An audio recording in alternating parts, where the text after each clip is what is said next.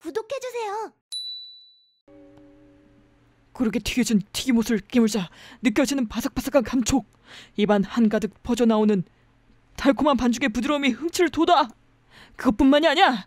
혀를 녹일 듯이 번지는 생크림의 부드러움. 절묘하게 배치된 야채가 전해주는 감미로운 뒷여운. 으깨어진 감자와 계란 샐러드 역시 조화롭게 풍미를 더한다. 이것은 이 맛은? 쩝쩝 그냥 평범한 고로케 맛이 었다 뭔가 진짜 독, 독인 줄 알았네 이, 이건 이러면서 빵을 먹다가 말고 가볍게 질문해 보았다 가만 생각해보니 너 안드로이드 많이 가지고 있었지? 어? 어 집에 한 이걸 뭐라고 해야 되죠? 6기? 6기? 6기 정도 있지 않을까 싶은데 6기라 대단한 숫자다 평범한 가정에서 가질 수 있는 개수가 아니다. 부잣집 아들이라는 소문은 사실이었나 보다. 갑자기 안드로이드는 왜? 아, 별건 아니고. 어? 너 혹시? 녀석이 먹던 것이 도로 튀어나올 만큼 상쾌한 웃음을 보여준다. 드디어 안드로이드에게 관심을 가지기 시작한 거로군. 나의 끝없는 포교가 끝내는 결실을 맺은 셈인가? 뭐 그냥 그렇다고 해주자. 좋아 좋아 좋아. 아주 좋은 현상이야. 안드로이드는 좋다고. 문명의 이기이자 과학이 창출한 최후의 결실이라고. 아 그래. 분야별로 장점이 있지만 내 추천은 단연코 메이드 로봇이야. 밥도 맛있고 청소에 빨래까지 전부 완벽하게 해결해 준다니까. 덤으로 여성용면 예쁘기까지 하니 감상용으로도 아주 쓸만하지. 감상용은 또 뭐야? 그런 거 감상할 시간이 있으면 네 발가락 사이에 낀 때나 감상해. 자고로 아름다운 것은 보는 사람의 마음을 풍요롭게 하는 법이라고. 과학적으로 이미 뚜렷하게 증명이 되어 있는 사항이야. 잠깐 한숨을 내쉬었다. 자잘한 일에도 이렇게 흥분할 수 있는 그가 부럽다. 난 평등주의자야. 갑자기 무슨 소리야? 예쁜 기계든 못생긴 기계든 기계는 다 싫단 소리야. 자, 사람의 경우를 예로 들어보자. 아무리 얼굴이 예뻐봐야 밑에 달려서는 안 될 것이 달려있으면 오히려 혐오감을 자극할 뿐이다. 그것과 마찬가지 원리다. 에? 아무리 예쁘게 만들어도 기계라는 요소가 붙으면 일단 아웃 오브 안주. 깊게 뿌리 박힌 외모 지상주의를 타파하는 훌륭한 사견이 아닌가? 뭐 얼굴 예쁘고 밑에 뭐 뭐, 뭐, 뭔가 있을 수 있지. 로봇을 싫어하는 건 여전한가 보군. 아무래 아, 그래도 없던 관심이 생겼으니까 안드로이드에 대해 물어본 거겠지? 평소에는 이런 얘기 꺼내지도 않잖아. 뭐 그렇지. 하나 구입할 생각이라면 동행하겠어. 많은 구매자들이 아차하는 순간에 놓치고 나는 여러 자잘한 부분까지 빠짐없이 설명해주지. 미리 말하지만 일생 일대 최고의 선택이 될 거야. 그 말에 볼을 긁적였다. 아니 딱히 살려는 건 아니고. 돈 때문에 그러시나 친구요? 그렇다면 걱정 마시라. 엄청나게 파격적인 가격에 구입하게 해줄 테니까. 이래봬도 내가 이 방면으로 조금 연줄이 있다고. 내가 같이 가면 거의 거저먹는 수준으로 구입할 수가 있지. 암. 아니 그 이전에 살 필요가 없어. 뭐시라? 그것도 무슨 소리지? 말해도 될지 잠시 머뭇거리다가 대답한다. 주웠어 뭘? 안드로이드. 주웠다고? 안드로이드를? 그래. 어디서? 배기장에서. 너 이 자식 땡 잡았구나. 지금 시기에 획득 가능한 제품이라면 IDX 다시 358인가? 아니면 45? 어떤 기종인데? PXX 어쩌고 했는데 어 뭐였더라? 아무튼 최신형이라고 하는데 실제 능력은 별 볼 일 없더라고. 그래도 이왕 주운 거 불쌍하니까 써줄까 하고. 어, 뭔지 궁금한데. 나중에 시간이 나면 한번 놀러 가봐야겠군. 거기서 잠시 말을 끊고는 곧 분위기를 바꾸듯이 다시 말문을 연다. 뭐, 네가 안드로이드에 흥미를 가지게 된 건 나로선 기쁜 일이지. 다만, 다만. 그래도 조심하도록 해. 조심하라니 뭘? 요새 TV에 자주 나오잖아. 안드로이드에 지나치게 빠져버린 케이스 말이야. 나중에 들인 버릇이 더욱 고치기 힘들다고 하다 하니까 로봇은 로봇, 인간은 인간. 이 경계를 잃지 않은 한 내 한도에서 활용하는 편이 좋아. 결국은 편의를 위한 제품 그 이상도 그 이하도 아니니까. 차라리 머리 위로 비행기가 떨어지게 될 경우를 걱정해라. 세상에서 가장 가능성 없는 경우를 걱정하고 있다는 자각이 없나 보다. 나도 네가 그런 식으로 로봇에 빠지리라고는 생각 안 하고 있긴 한데. 금 조심해서 나쁠 건 없으니까. 언니들 그러잖아. 돌돌이 돌다리도 부숴가면서 건너라고들 하니까. 돌다리를 부셔서 뭘 어쩔 셈인지 모르겠는데. 아무튼 말 뜻은 알겠어. 기억해두지. 그 말에 가볍게 고개를 끄덕였다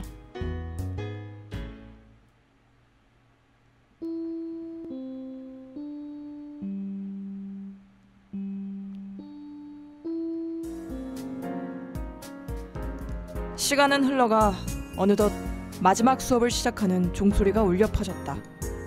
지겨운 학교 수업 시간도 종말을 목전에 두고 있다. 마지막 강의 시간. 선생의 장황한 연설은 끝날 줄을 모른다.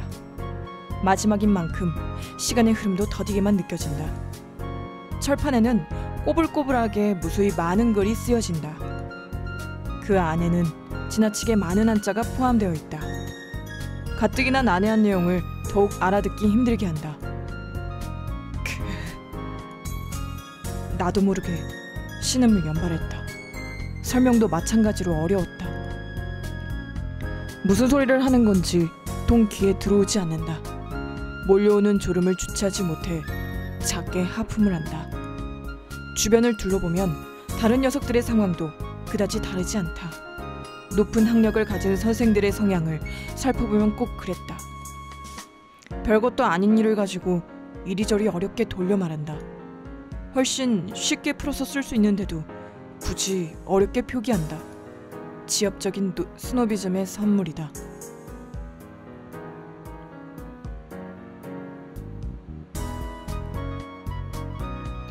세상에 영원한 것은 없다. 무한히 끝나지 않을 것만 같던 선생의 말도 마침내는 끝이 난다.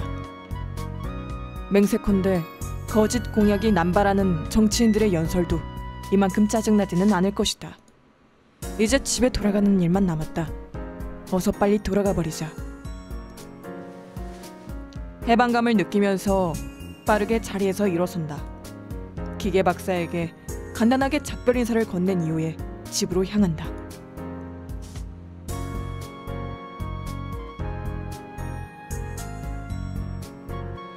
거리를 지나가다가 문득 깨닫는다.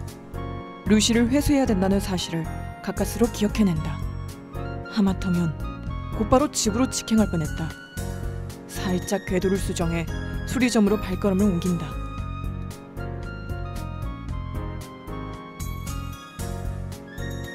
수리점 앞에 도착한다. 유리 너머로 비춰진 가게 안의 모습은 대체적으로 환산했다. 몇 명의 손님만이 안에서 어기적거리고 있는 듯했다. 가게 주인의 모습은 어쩐 일인지 보이지 않는다. 망설임 없이 안으로 들어간다.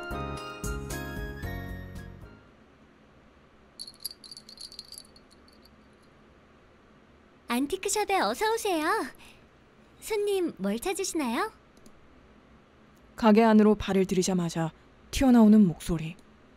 청량하고 부드러운 소프라노의 음성이었다. 속으로 조금 놀랐다. 여성의 목소리가 반겨줄 줄은 전혀 예상치 못했으니까. 오후에는 아르바이트생을 두고 있나 보다. 고개를 돌려 목소리의 주인의 얼굴을 확인한다. 그리고 방금 전보다 다섯 배는 더 놀라고야 만다. 아, 너? 녀석도 조금 늦게 나를 알아보았다. 어, 눈에 생기가 도네. 표정이 다양해. 어머, 드디어 와주셨군요, 주인님. 애타게 기다리고 있었답니다. 자연스럽게 대답하는 그녀는 루시 발렌타인. 내 눈이 잘못되지 않았다면 아침까지만 해도 꼴통과 다름없던 안드로이드가 거기 멀쩡한 모습으로 서 있었다. 밝게 웃는 얼굴에 어색함이라곤 없었다. 혹시나 해서 확인차 질문한다. 루시 너 루시 맞지? 네, 맞아요. 루시는 다른 누구도 아닌 루시랍니다. 맞는 모양이다. 너 어떻게 된 거야? 네, 주인님. 어떻게 된 거냐고 하시면 그 목소리랑 그 표정 말이야. 그리고 지금 서 있는 거 맞지? 네, 물론이에요, 주인님. 루시는 지금 두 발로 서 있답니다. 에헴. 자랑스러운 듯이 어깨를 으쓱이는 루시. 아니, 사실 서 있는 게 그리 자랑할 만한 일은 아니다만. 하지만 지금까지의 상황을 생각하면 충분히 놀랍다. 멀쩡해 보이잖아. 다 고쳐진 거야? 네, 주인님. 지금 루시는 몸이 가벼워서 날아갈 것만 같답니다. 그렇게 말하고 가볍게 몸을 돌려 제자리에서 한 바퀴 회전하는 루시. 성숙한 요조성녀처럼 기품 있고 동시에 아이를 연상시키듯이 천진난만한 모습이었다. 하지만 그러다가 곧바로 넘어져 버린다. 처음에 느꼈던 기품도 동시에 같이 곤두박질 친다. 아직 원 상태는 모양이에요.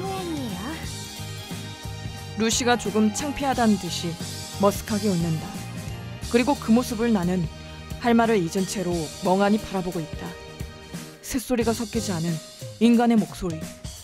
감정이 진득하게 묻어나는 억양과 음폭. 생생함이 흘러넘치는 다양한 표정과 행동. 자유자재로 움직이는 팔과 다리. 이 모든 것은 단순히 놀랍다고밖에는 표현이 안 된다. 얼마나 놀랐느냐 하면 나도 모르게 말이 더듬어질 정도로 놀랍다. 머리가 멍해져서 표현의 결핍, 단어의 결핍마저 불러올 정도로 놀랍다. 머릿속이 지겨울 정도로 놀랍다는 단어 하나로 가득 차게 된다. 물론 겉으로 내색은 하지 않는다. 감정의 절제는 지성인이 가져야 할 미덕이니까. 뭐 그런 이유는 실은 거치려고 이 로봇한테 놀랍다는 사실을 인정하기가 싫었다. 불과 여덟 아홉 시간 사이에 이렇게 변할 수가 있다니 굉장한데? 처음으로 주인님한테 칭찬을 받았네요. 기쁘다. 에템? 너 말고 수리공 아저씨를 칭찬한 거야. 쿵. 그럴 수가. 그렇게 말하며 얼굴에 실망감을 표출하는 그녀는 영락 없는 사람 그 자체였다. 이건 대체 뭐라고 설명해야 할까? 마술? 어느 변덕스러운 마법사가 부리고 간 마술의 일종인가? 문득 옛날 동화 속 얘기를 떠올린다. 인간이 되고 싶어 하던 구미호, 인간이 되고 싶어 하던 인어공주, 혹은 단군 신화에 나오는 호랑이. 결국 그들은 전부 인간이 되지 못했다. 눈앞의 로봇은 내게 하나의 가정을 떠올리게 해준다. 만약 그들이 인간이 되는데 성공했다면 아마 이런 식으로 기뻐하지 않았을까? 자, 자, 메르엔틱한 감상은 여기까지. 나는 일단은 가게 아저씨를 찾아보기로 했다. 한참 동안 주위를 두리번거려 보지만 어디에도 보이지 않는다. 주인 아저씨는 어디 갔어? 네. 주인 아저씨께서는 필요한 물품을 조달하러 잠깐 외출하셨답니다. 나갔다고? 가게는 어쩌고? 에헴. 가게는 지금 훌륭한 점원이 대신 보고 있답니다. 훌륭한 조문이라니. 어디? 에헴. 에헴. 아, 어디 있단 거지?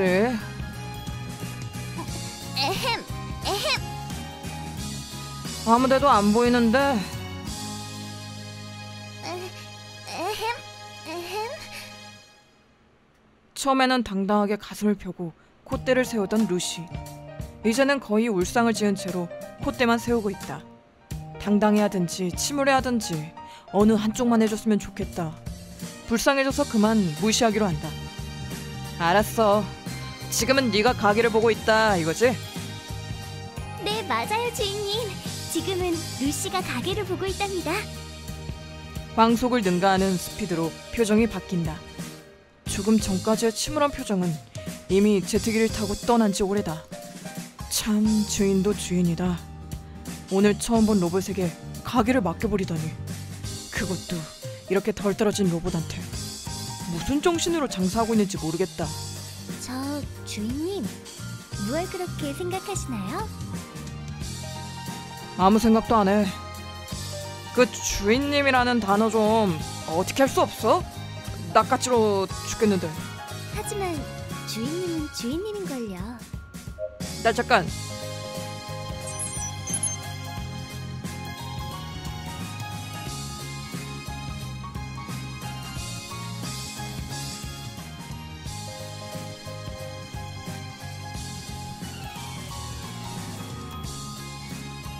이름을 불러 이름을 하지만 루시는 주인님의 이름을 모르는걸요. 이 기회에 가르쳐 주세요. 그러고 보니 처음에 이름을 입력할 때 실패했었던 것도 같다. 그럼 대강 아무렇게나 둘러대 볼까? 이름을 입력해 주세요.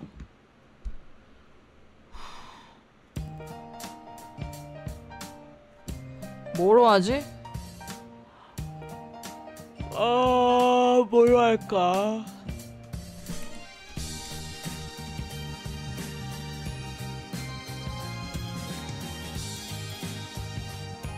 옆에 하인즈 케찹이 있으니까 하인즈로 하겠습니다.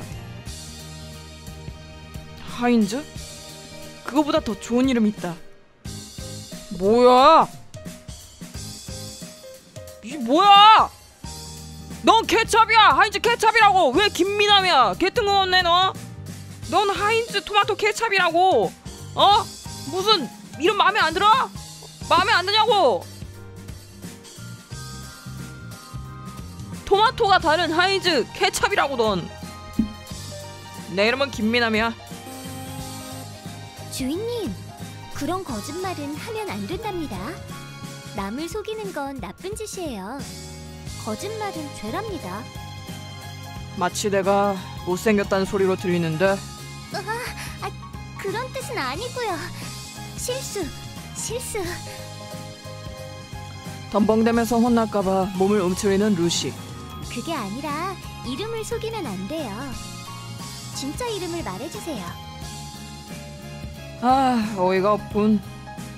무슨 근거로 감히 주인님의 말씀을 거짓말이라고 단정짓는 거야? 조금 전에 이름을 입력하는 걸 봤답니다.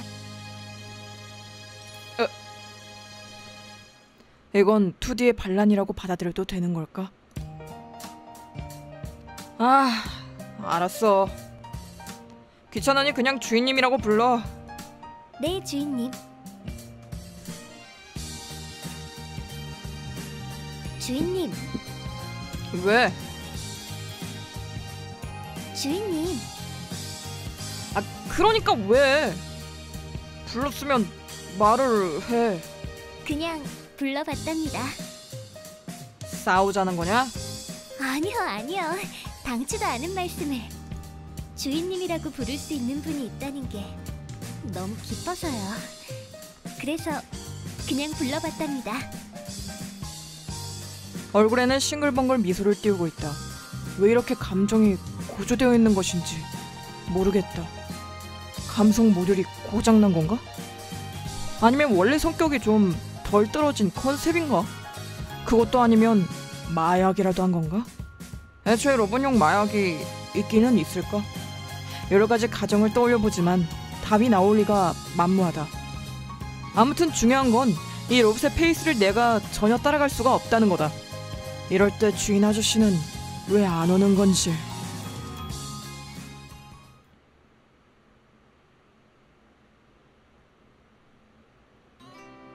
십여 분 후 드디어 주인 아저씨가 돌아왔다. 사실 나는 먼저 말을 걸려고 했었다. 그렇지만 시도는 바로 무산되고 단번에 선수를 빼앗기고 말았다. 그는 나를 보자마자 사가지고 온 내용물을 다 던져버리면서 광속으로 뛰어들어온다.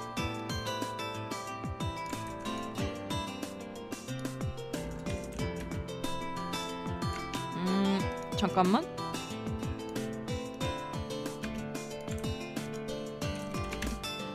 안녕하세요. 그러더니 내 두 손을 꼭 붙잡는다. 학생! 루시를 내가 주시게! 이 망나니 같은 시츄에이션은 대체 뭘까? 마치 장인어른에게 딸을 달라고 부탁하는 사육감이 아닌가? 바로 대답한다. 난이 결혼 반댈세. 아, 갑자기 무슨 소리야? 약 먹었어? 그건 내가 할 소리예요. 난데없이 무슨 소리세요? 수리공이 잠시 정신을 추스린다. 아, 말이 좀 헛나갔나 보군. 에바 학생, 다름이 아니고 말이지. 루시를 내게 팔 생각은 없나? 예상 외의 권유였다. 팔라고요? 그래, 이 정도 쳐줄 수 있는데. 계산기를 두들기더니 나온 숫자를 내게 보여준다. 5초간 멍해진다. 지, 진심이에요? 물론이지. 어떤가? 학생 입장에서도 나쁜 거래는 아니지? 이 정도 거금은 어른도 쉽게 줄 수 있는 수준이 아닐 테지만야. 이런 낡은 가게나 운영하면서 수중에 여유가 있을 리가 만무하다. 무리하고 있는 것이 뻔히 보인다. 말없이 루시를 바라본다. 예상치 못한 대화에 깜짝 놀라서 몸이 얼어붙은 듯 보인다. 금방이라도 울 것처럼 울상을 짓고는 나를 바라보고 있다. 정확하게 비유하자면 거기에는 납치당한 사람이 새우잡이 거기에는 납치당한 사람이 새우잡이 배에 팔려 나가기 직전에 보이는 애절함이 담겨 있다. 에보셔, 아무리 그래도 그 눈빛은 좀 실례잖아. 잡아먹는 것도 아닌데 말이지. 고개를 돌려 수리공 아저씨를 바라본다. 왜 이렇게 내는 건데요? 이 가격을 충족할 만큼 좋은 로봇이에요? 에, 당연하지. 그가 흥분해서 버럭 소리친다. 덕분에 깜짝 놀랐다. 귀청 떨어진 줄 알았네. 잘 들어. 구형을 제외한 세상 모든 로봇들에게는 AI 감, 및 감정을 구현하는 감성 인터페이스가 탑재되어 있어. 이 부분은 알지? 대충은 이런 인터페이스를 구현하려면 치밀하게 짜여진 감정 메커니즘이 탑재되어 있어야 해. 그런데 이 분야가 현실적으로는 어떤 수준인지 아니? 글쎄요. 인간이랑 비교하기에는 아직 멀었다 싶은데요. 맞았어. 아무리 치밀하게 만들어진 AI 감성 인터페이스도 결국은 인간의 흉내 수준을 벗어나지 못하고 있어. 인간처럼 스스로 느끼고 생각하고 표현하고 소통하는 건 거의 불가능하다는 소리지. 아 대충 뭐라 어, 하는지 아, 이해했어요. 되니 무슨 말을 하고 싶은 건지 감이 왔다. 어, 어 하나를 가르쳐주면 셋을 아는 학생이로군. 과연 요새들은 조기 교육이 잘 되어 있어. 어디 한번 말해봐.